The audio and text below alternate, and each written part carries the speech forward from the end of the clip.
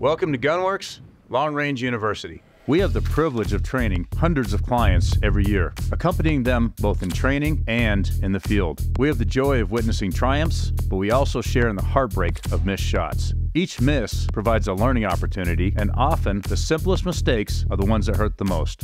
So let's look at correcting the top five basic mistakes hunters make under pressure. Coming in at number two in our countdown of five simple mistakes that cause heartbreaking misses in the field is parallax. Now, parallax is defined as the image of the crosshair and the image of the target not being focused on the same plane. Now, what does this really mean? Imagine shooting a pistol without a rear sight. We'd place the front sight on the target without a rear sight to properly align our eye with, we would likely miss. Now, a scope does not have a rear sight, and a scope also has what we call a forgiving eye box. And what this means is my eye can be a little bit out of center behind that scope and I can still see through it. The scope has the ability to compensate for our eye being out of position behind it through parallax. However, parallax can only be set for one distance at a time. Now, parallax is seen as the apparent movement of the reticle across the target as we move our eye behind the scope. Now, a good representation or a good way to see parallax is just take your thumb, extend your arm out in front of you, and place the tip of your thumb on an object. Now the tip of my thumb is on a spot on the wall.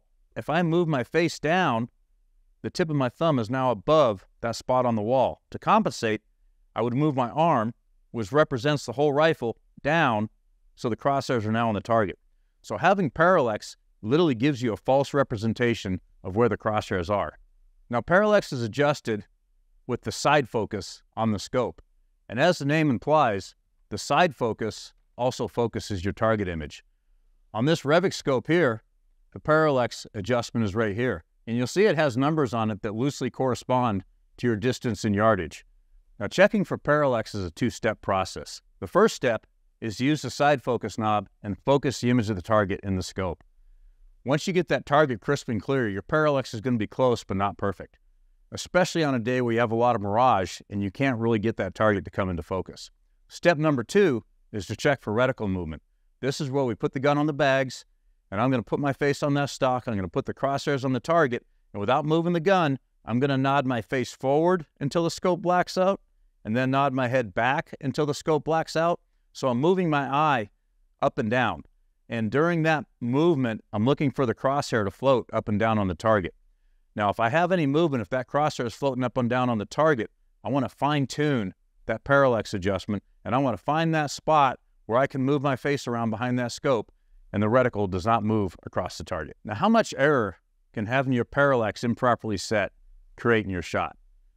For example, if I'm looking at a target approximately 800 yards away and I have my parallax set for 200, the target might be a little blurry, but I probably wouldn't notice.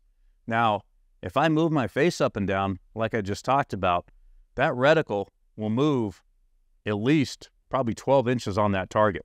So depending on my face position behind the gun, I could be shooting six inches high to six inches low, and your group downrange is going to be representative of that.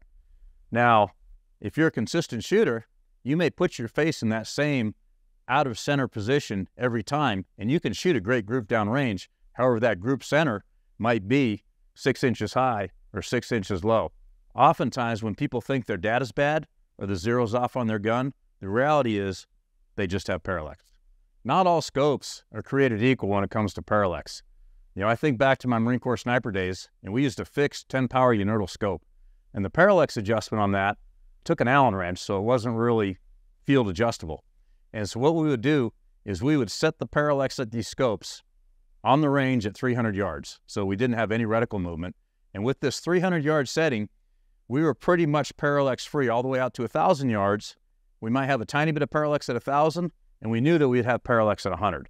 So when we were zeroing at 100 yards, we were just very mindful of that, and we made sure our eye was centered behind the scope we were zeroing at 100 yards. Pretty much every scope I've used since then, it seemed like the parallax always had to be adjusted every time you switched yard lines.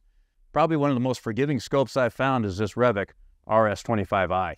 If I take a look at the parallax knob on here, the 500 and the 1000 are almost on top of each other. So I can literally set my parallax for 800 or 1,000 yards, and there is almost no visible movement at 400 and no visible movement at thousand. So in the meat of our shooting distances, I really don't have to mess with this parallax adjustment. Now, if I compare that to this Leupold here, and you'll see how much movement there is between the 400 yard setting and the 1,000 yard setting, I have to adjust this scope every time I change yard lines. I would say in my experience, you know, when we have a student that shoots over or shoots under a target and we know their data is good, at least half the time the culprit is parallax.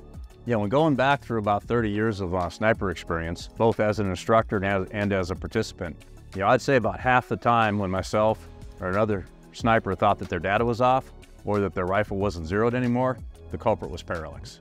So join us next time we talk about number one in our countdown of five simple mistakes that cause heartbreaking misses in the field. Also, we'd love to have you at Long Range University. Check out gunwerks.com for a schedule of our classes.